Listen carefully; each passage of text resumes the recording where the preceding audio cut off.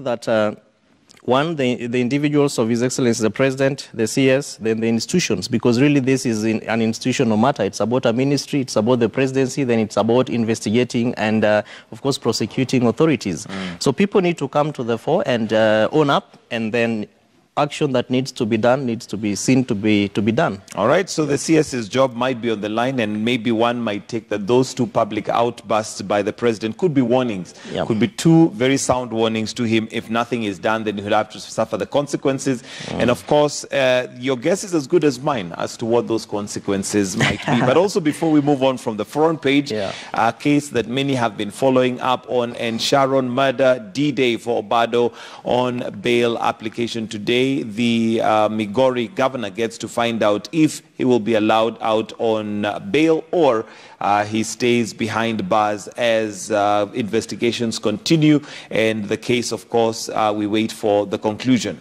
Yeah, this is quite unfortunate, I would say at two levels. One to the family of Sharon, may her soul rest in peace, having been buried last weekend. Mm. And indeed, two to the constitutional issues around uh, accused persons, right to bail and all these matters. But uh, probably the third thing would be those who, other people might say that the, the, governor could be reading a lot of politics, but the question is institutional independence, so that then we, we take away judiciary or the courts from the politics. Mm -hmm. And uh, it's happening today. We wait to see how it goes, um, because this is a, a really a pure test of our constitution, you know, right of arrested persons, right to bail, and what the underlying issues are. Your, your, your station has been doing us very a great favor to tell us what's going on what's at the courts, and yes, I think... Uh, definitely been at the yeah, heart of a lot of issues that can be read out of what is even um, taking place in the courts. Absolutely. Yeah. And another story that, uh, of course, many have been following up on again is on the front page of uh, the Standard uh, and on page four. GSU commando now witness in Jowie case. And of course, this is the murder most foul of Monica Kimani. And we do know what has been going on. Again, this is another case that we have kept our eyes on. But the GSU officer may now turn to be a witness as opposed opposed to being one of the suspects of the murder. And that's, of course, another story that we're following up on. Uh, but away from that, yeah. still on page four, Uhuru gives 21 billion for cheap housing project. Again, this is the Jubilee agenda. Um, affordable housing is one of the things that they want to be remembered for this particular term. And 21 billion released by the president yesterday. And this is to go towards affordable housing uh, construction. Um, some progress there? Uh, quite some progress, but I think the question should be affordability. Yes, we're saying it's affordable housing. Uh, I think what we therefore need to delve deeper into is looking at the process of uh, acquiring these houses. Mm.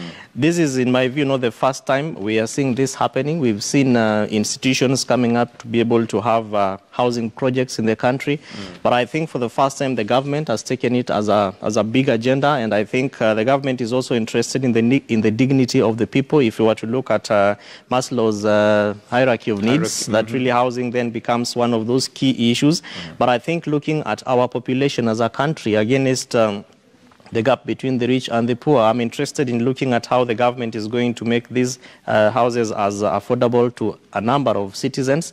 Uh, not, of course, looking at uh, the, mog the, mo the, mortgaging uh, regime that we have in our country today against insurance and against you know, um, income that most of the middle class are also receiving, and indeed against the kind of uh, demolitions that we are seeing happening in the country and against the outcry of the public. So I think the government, as much as we have the big four agenda and housing being one of them, needs to come out to engage the citizens in a public participation process because indeed that is also their constitutional right. It doesn't have to be seen as a government project. Mm. And so people waiting there for government to put houses uh, forth and then saying, the government saying these are houses, come and occupy them.